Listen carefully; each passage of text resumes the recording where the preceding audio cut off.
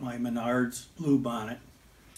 In the Menards unit, I installed a two-piece MTH smoke unit that the seller said was a replacement for smoking tank cars.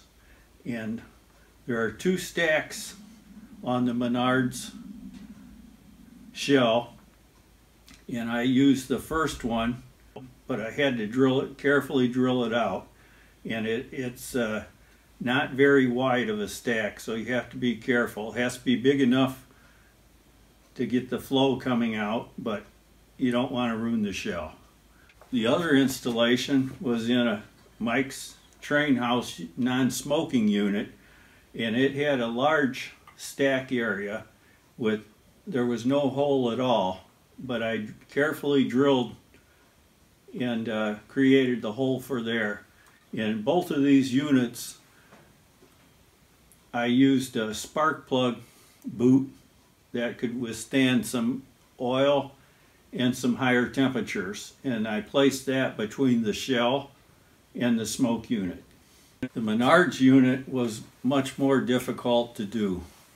The wires were not soldered on to the fan. You had to solder to the fan and to the heater and the, the fan motor was like the size of a needle head.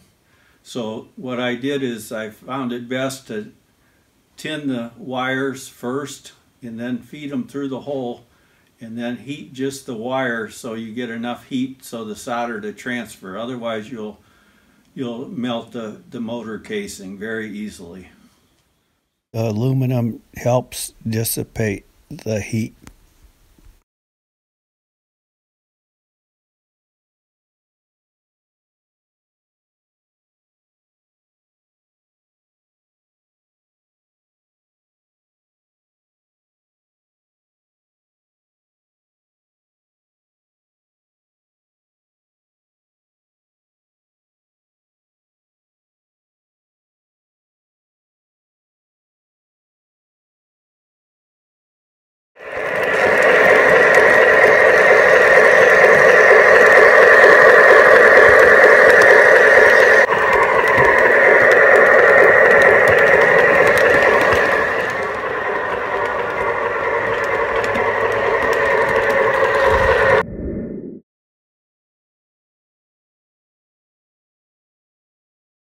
The brass standoffs help dissipate the heat.